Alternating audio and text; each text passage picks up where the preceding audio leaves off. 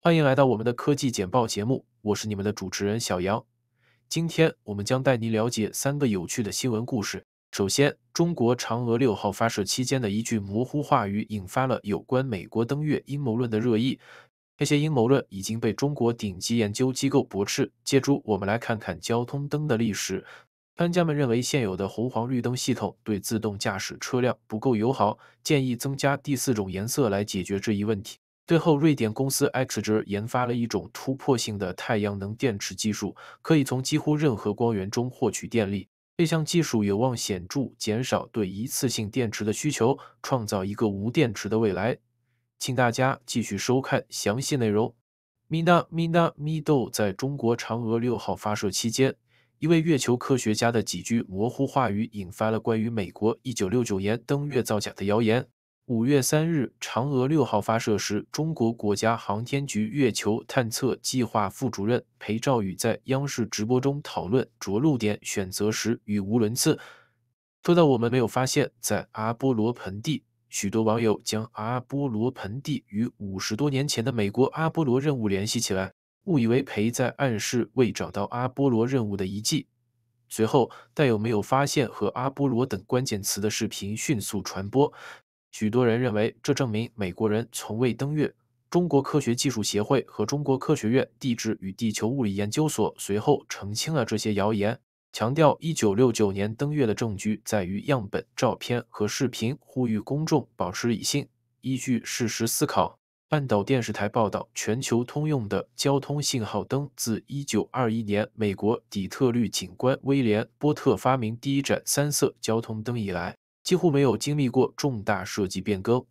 随着无人驾驶汽车的兴起，专家们认为需要新的安全指南来确保它们正确与交通信号互动。北卡罗来纳州立大学的工程教授阿里·哈吉巴巴伊正在领导一个团队，设计考虑无人驾驶汽车响应的交通系统，提出增加一种可能是白色的新灯。交通信号不仅关系到安全，还能改善交通流量。减少拥堵，进而对经济有利。据 INRIX 二零二二年全球交通报告，英国、德国和美国的道路拥堵对经济的总成本为二十二亿美元。哈吉巴巴伊解释说，白灯亮起时，无人驾驶汽车会将其解读为继续行驶，除非另有指示。雅虎美国报道，佛罗里达州防守端锋罗曼多·约翰逊已确定将进行罗格斯大学橄榄球队的正式访问。这位来自君主高中、身高六英尺三英寸、体重二四五磅的防守端锋，拥有包括佛罗里达乔治亚理工、伊利诺伊路易斯维尔迈阿密、路易斯维尔迈阿密、宾夕法尼亚州立大学和田纳西在内的多所大学的邀请。本月早些时候，他还收到了波士顿学院的邀请。二四七 Sport 将他评为全国同位置第三十二名球员和佛罗里达州第六十名总体新秀。去年他在十一场比赛中总共完成了二十八次擒包，包括三次失马擒包，还贡献了六次擒杀、一次防守传球、一次制造吊球和一次吊球恢复。罗格斯大学在二零二五年班的八名沉默球员中有两名来自佛罗里达。Al Jazeera 报道，柏林自由大学的本科生西西利亚表示，自以色列对加沙的战争开始以来，学术自由受到了严重威胁。他和其他学生组成了一个委员会，声援巴勒斯坦。在德国各大学，成千上万的学生组织了支持巴勒斯坦的示威、讲座和静坐活动，甚至反对以色列官员的演讲。然而，学生和教职工表示，他们的言论自由权利受到了敌对媒体报道、大学和政客采取的压制性法律措施以及警方对和平示威者使用暴力的侵害。最近，学生们在柏林、慕尼黑、科隆等地的大学校园内建立了占领营地，呼吁德国大学支持加沙停火，对以色列进行学术和文化抵制，并结束对学生活动的压制。Yahoo US 报道。科技股的恐惧感和 MO 是真实存在的。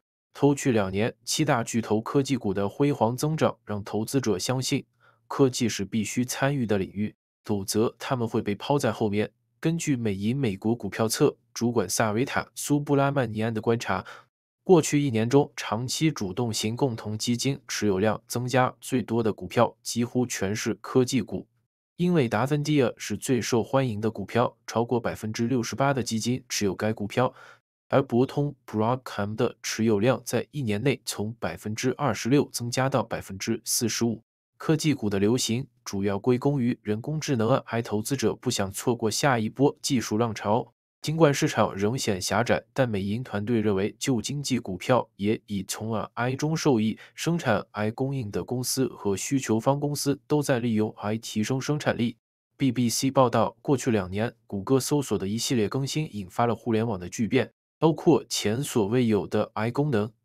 谷歌 CEO 桑达尔·皮查伊在公司年度开发者大会上宣布，谷歌搜索将提供 AI 生成的答案。这一功能被称为 AI 概览，已经在美国推出。谷歌表示，这些变化将推动技术发展，解决网络上的许多问题。然而，批评者认为，谷歌的算法调整和 AI 转型可能对许多内容创作者和独立出版商造成毁灭性打击。谷歌的更新旨在打击低质量内容。但也导致许多小型独立网站流量锐减。谷歌的 AI 概览功能可能会使用户不再访问原始网站，影响网站的流量和收入。媒体高管们质疑谷歌对互联网的控制，认为其过度权力可能对内容创作者和出版商造成不公平的影响。Bloomberg，全球七国集团 G 负七的通胀将逐渐缓解，但进展将不均衡。意大利的 G7 领导人会议上。各国央行行长们正在评估美国的增长势头与欧洲经济扩张的持续疲软之间的耐久性。然而，全球人口老龄化可能会挑战这一温和的通胀前景，因为老年人消费增加，而年轻人减少生产。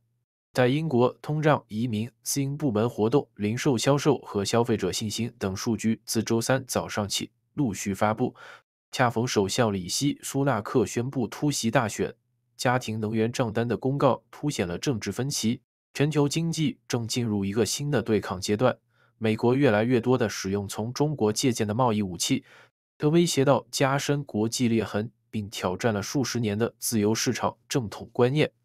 铜价飙升至历史最高水平，延续了几个月来的上涨趋势。金融投资者预计供应短缺将加剧。匈牙利、格鲁吉亚和智利都降低了基准利率。而尼日利亚则将关键利率提高到新纪录高位，以遏制持续的通胀并提振受挫的货币。英国通胀高于预期，交易员大幅削减了对降息的压注，这使得苏纳克未能实现标志性的经济胜利。拉丁美洲国家纷纷效仿美国和欧洲，对中国进口商品征收高额关税。美联储官员们对抗通胀的最后一段路上。一个关键问题是商品价格是否会继续下跌。中国新房销售的下降加速，家庭越来越倾向于在二手市场购买，这推高了未售出房屋和空置土地的库存，威胁到开发商的更多违约。n f 走 z 一个国际团队发现了迄今为止最强有力的证据，证明一种理论上的例子。要求的确认，这可能是自2012年发现希格斯玻色子以来，粒子物理学最令人兴奋的发现，并为标准模型再添一手。根据标准模型，胶球完全由胶子组成，这是一种无质量的粘性粒子，将夸克结合在一起，形成质子和其他物质成分。使用北京电子正负对撞机。科学家们发现了迄今为止最强的胶球候选者 X 二千三百七十粒子，在对撞机中以接近光速撞击电子和其反粒子后，研究人员筛选了超过一百亿个碰撞样本，仔细检查了 X 二三七零的质量和自旋等关键特性，发现它与预测的由两个胶子组成的胶球特性相符。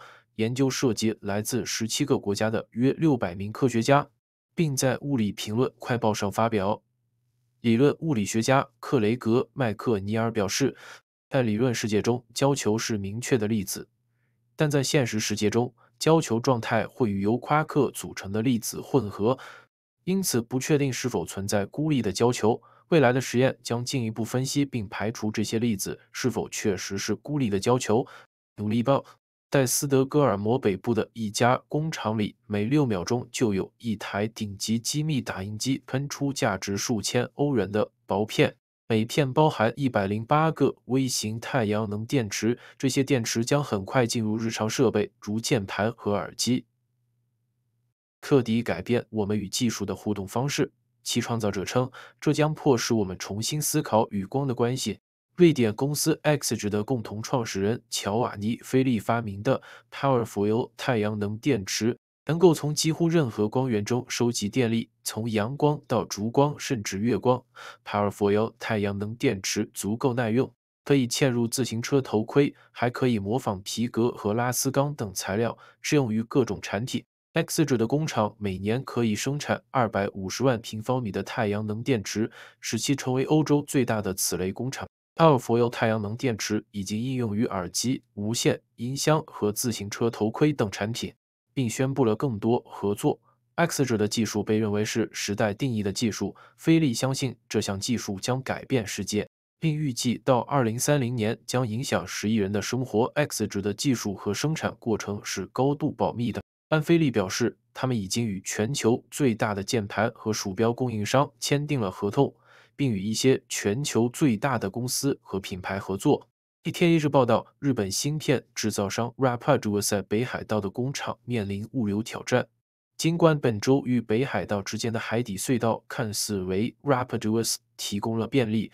但实际上，火车禁止携带高压气体或易燃液体等危险物质通过五十四公里的清寒隧道，这对芯片制造所需的各种气体和溶液运输构成了问题。Rapido 计划通过海运解决这个问题。相比之下，材料成本相比之下，台积电在九州熊本县的生产设施则较为便利。卡车可以通过关门海峡的桥梁运输。此外，整个行业还面临卡车司机短缺和供应链脱碳的压力。日本材料公司于今年三月启动了一项结合铁路和卡车运输的计划，以应对这些挑战，并减少约百分之五十五的二氧化碳排放。尽管如此，Rapido 在北海道的工厂仍未能纳入这一新的物流网络。亚核 US 报道，一九九四年南非首次非种族选举时，约翰内斯堡郊外的一个贫民窟里。金西亚姆提卫和其他居民每天都在绝地隐藏他们的棚屋，以避免被政府推到奥。那时的南非正经历历史性的变革，巴尔逊·曼德拉成为首位黑人总统。然而，三零年后的今天，南非的民主虽然持续，但人们对执政的非洲人国民大会 （ANC） 感到普遍失望。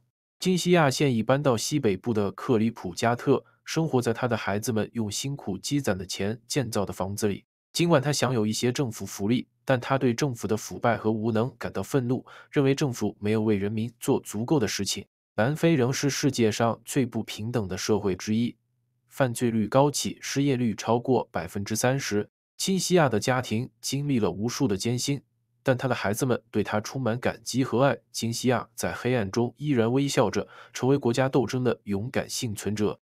Yahoo US 报道，詹妮弗·洛佩兹近日在洛杉矶亲自查看了 Netflix 为其新电影《Red》树立的广告牌，上面写着“不要惹 J Lo”。洛佩兹在 Instagram 上分享了一段视频，展示了他在车内看到广告牌的兴奋之情，并鼓励观众观看他的新电影。在广告牌前，他与一台电影中的机器人模型合影，并表示观众必须观看这部刚刚上映的电影。此前，洛佩兹在墨西哥的宣传活动中被问及其与本·阿弗莱克婚姻的传闻，他巧妙地回避了这个问题。电影《阿勒》松，洛佩兹饰演一位对人工智能深感不信任的数据分析师。